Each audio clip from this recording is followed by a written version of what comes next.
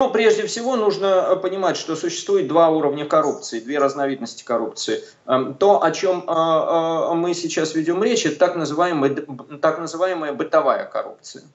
Или нижний уровень коррупционной составляющей. Это то, с чем, свя... с чем сталкивается обычный гражданин в своей повседневной деятельности – то есть э, это э, э, поликлиники, это ГИБДД, это школы, это жилищно-коммунальные структуры, это чиновники на уровне муниципалитетов.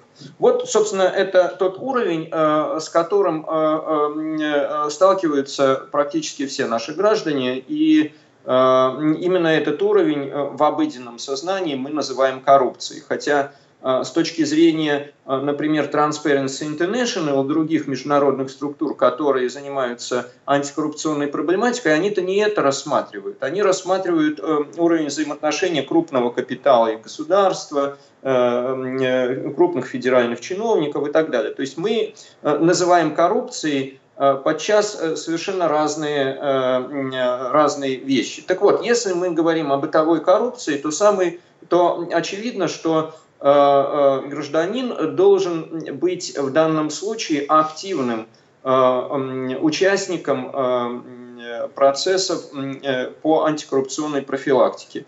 То есть любые, ну, прежде всего, первое, он не должен сам включаться в цепочку коррупции, то есть должен прекратить давать взятки и понуждать чиновников получать эти взятки или так называемые подарки. Если э, э, э, сам гражданин не будет провоцировать чиновника на получение каких-то подношений, уже значительная часть проблемы будет решена. Кстати, очень интересные ведь есть социологические исследования, в соответствии с которыми граждане участвуя в коррупционных схемах, сами себя не отождествляют с коррупционерами. Вот чем дело. То есть, а, отвечая на два а, а, рядом поставленных вопроса, все ли чиновники, э, э, э, велик ли процент среди чиновников-коррупционеров, гражданин говорит «да», отвечая на второй вопрос, давали ли вы взятку чиновникам, гражданин говорит «нет». То есть дает два противоположных вопроса. Первое, первое человек должен перестать провоцировать э, э, взятки, то есть перестать давать деньги участковому врачу в школе, на автотрассе, и уже значительная часть проблемы будет решена. Второе, и это очевидно, что существует достаточно большой сейчас инструментарий по общественному контролю за а, теми или иными а, а, действиями должностных лиц. И очевидно, что гражданин может, ответственный гражданин, любой ответственный гражданин может включиться в эту систему. Ну, например, есть сайт «Активный гражданин», куда можно направить любой запрос и любую жалобу. Очевидно, что система электронного документа оборота – в значительной степени уже является разрешением проблемы коррупционности, потому что она исключает прямой контакт э, гражданина и чиновника. Ну или во всяком случае сводит его к минимуму.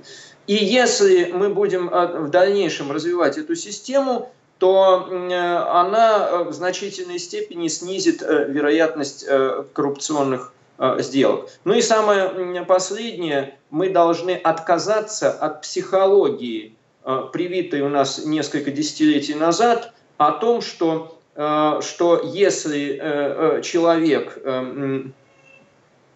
сообщает какую-то информацию в соответствующие правоохранительные структуры, он поступает плохо.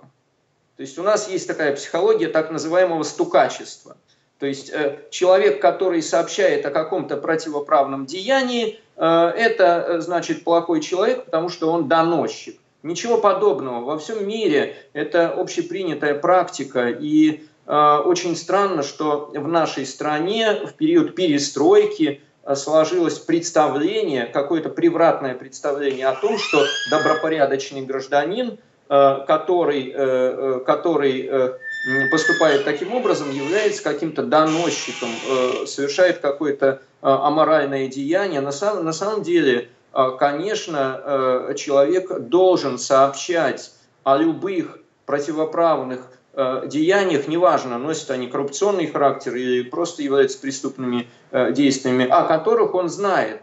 И э, не, только ничего зазорного в этом нет, но это долг и обязанность любого гражданина э, не скрывать эту информацию, а делать ее достоянием Э, э, соответствующих структур и достоянием гласности. Поэтому нам нужно изменить, э, работать над собственной психологией. Нам нужно быть в достаточной степени ответственными гражданами своей страны и жителями своего муниципалитета, в котором мы живем, для того, чтобы понимать, что если мы знаем, недостаточно просто не давать взятку.